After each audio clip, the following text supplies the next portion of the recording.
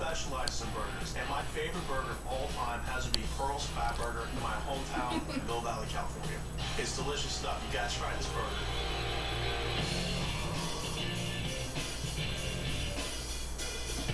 The great thing about Pearl's Phat Burger is that it's around the corner from my shop in Mill Valley, and my staff eats there all the time. When I walk in my kitchen shop and it smells like Pearl's Phat Burger, I know we're gonna have a good day. So when you get the whole burger, you have to get the fat burger with the works. Great eight ounce patty beef. 80% lean ground chuck and 20% fat. It's a half pound of beefy goodness. And it's the fat that makes the burger, you guys. And seared I guess this goes along with the top, and that's what inexpensive gives the burger toys for really kids. Oh yeah, totally. Caramelization, Three slices. There's no need to buy kids expensive toys. Tomato, onion, really great mayonnaise. Get in my mouth. and Lots of sharp cheddar Get in my mouth. Get in my mouth. So when I walk up to the counter, I get the big Tastes old bad, fat Daddy. burger, and I like my burger rare. I just want to tiptoe across the grill. a little bit.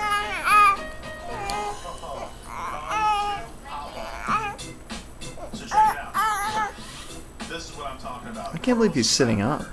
What? Wow. The bun, the cheese, the tomato, the lettuce. The sugar. It is Look at these big feet. Between two slices Look at those feet, they're massive. You got massive feet, sir. Massive feet. Grab the sound of alarm because there's an avalanche of cheese coming out of here.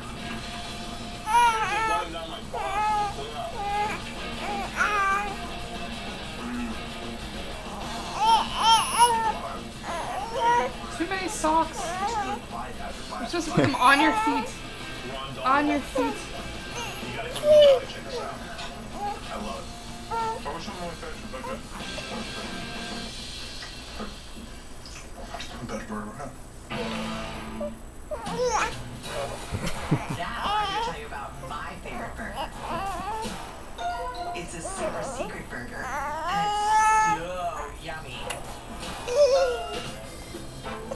Give Daddy his socks back?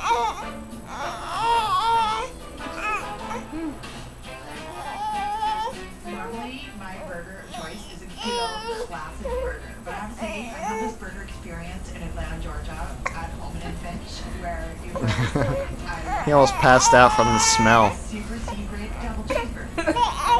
You have something that's not on the menu, but that you can get from me, it makes it really Yeah, definitely no need to buy him any expensive toys. Alright, yeah, here. This smells better than the sock. There you go. Yes. I went with a couple of regulars who were at the bar to have this burger. No burger. And they took me into the super secret 10 o'clock Coleman and Finch. That is delicious. It's got all the goodies of a classic burger. The classic burger is a I can't, hold the camera straight. Ah, Ethan. Ethan.